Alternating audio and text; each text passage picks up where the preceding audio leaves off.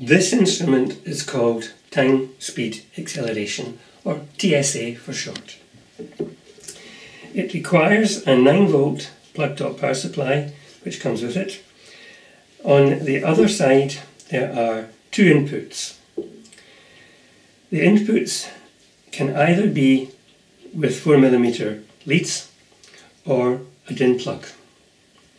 And this is just a copy of that. It can measure time and there are four different methods for measuring time. The first is an event timer and an event is simply a change in state. Let's just show that. I'm connecting my supply and I would like two wires to act like a switch and I'm going to plug them into either channel, doesn't matter. And if I take these and just touch them on and off, opening and closing a switch, I'm causing an event and changing the state. Let's look at one of the two of these timing modes. I'm going to select until I see what I want. The first one is called time interval. Fine. I see what I want, so I press enter, and it asks me how many, and simply go through. I'm allowed up to four timing intervals. I want one, enter, go when ready. So if I say go,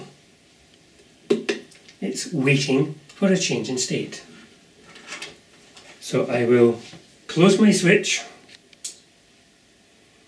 that starts it, and when I open it, it stops it.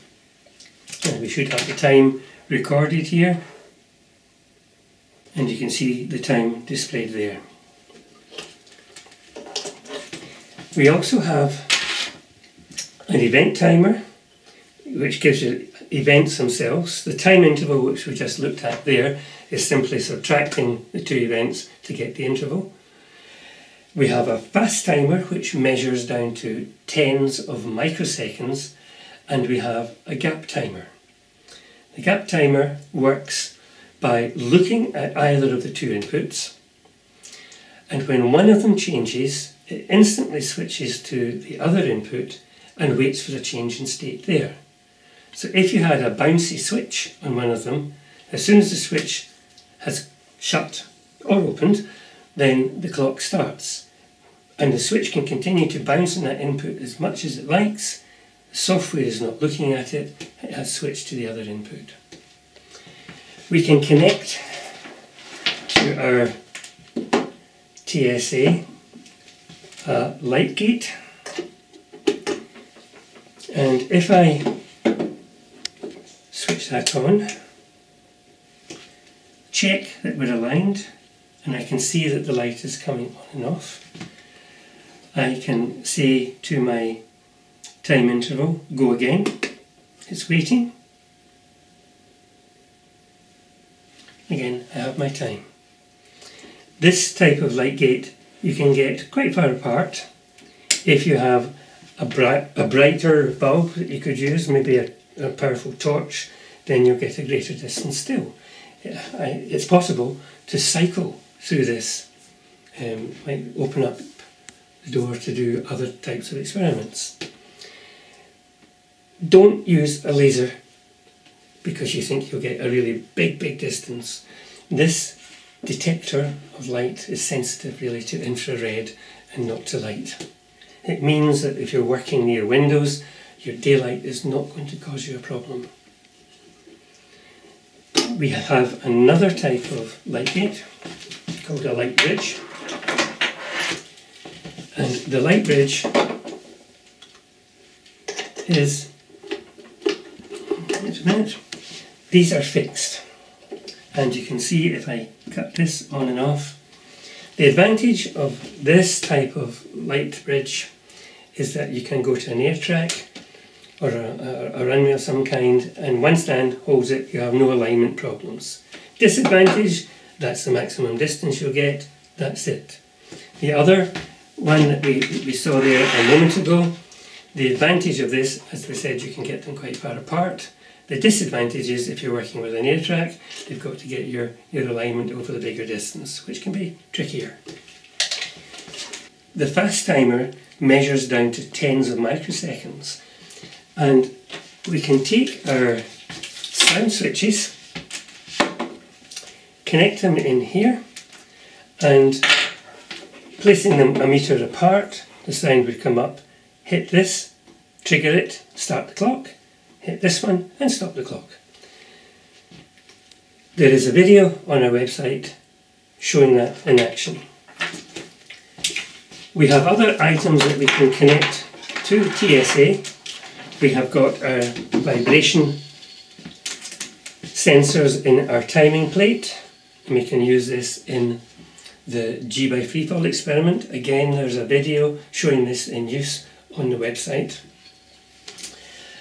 And we have also got an energy track that uses our light gates and we have connecting and we have our projectiles energy and timing apparatus which again uses the timing facility here.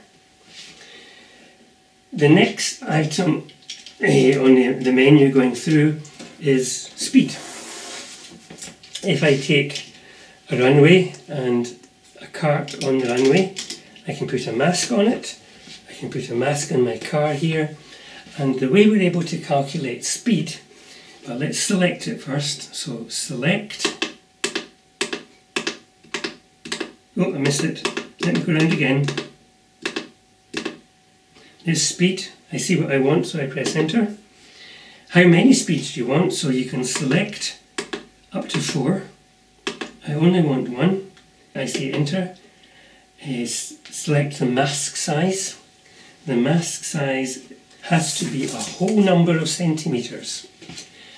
So let's select one, two, three, enter, and now we'll go for ready.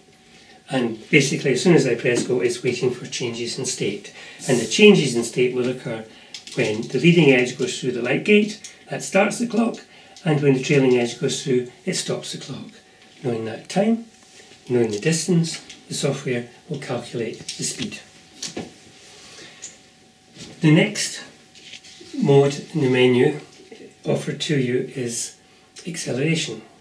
In fact, there are two different acceleration modes. The first one gives you the initial velocity, the final velocity, and the time between these, and it leaves the student to calculate the acceleration.